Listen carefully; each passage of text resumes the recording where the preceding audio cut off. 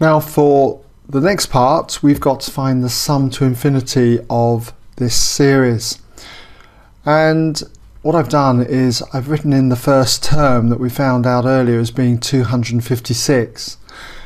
Now remember that the common ratio which we also found out r was the value 3 quarters and we should know that if r is a value that is greater than minus 1 and less than 1, that this series, or any geometric series for that matter, will have a sum to infinity. And that sum to infinity is always given as a divided by 1 minus the common ratio r.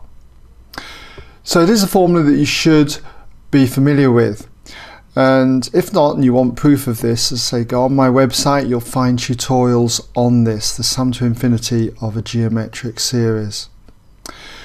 So, if we've got this formula then, all we need to do is just simply substitute our value for a, which we found out, as I say earlier, was 256, and divide this by 1 minus that common ratio of 3 quarters or you could enter into your calculator 0.75 okay?